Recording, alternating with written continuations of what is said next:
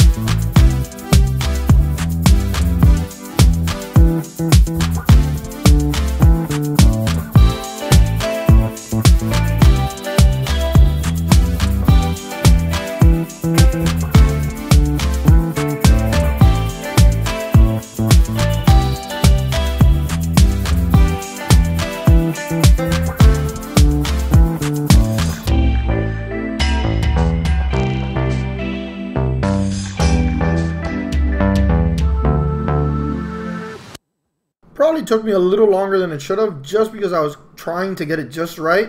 But in the end, I'm pretty happy with how it came out and it really wasn't all that difficult.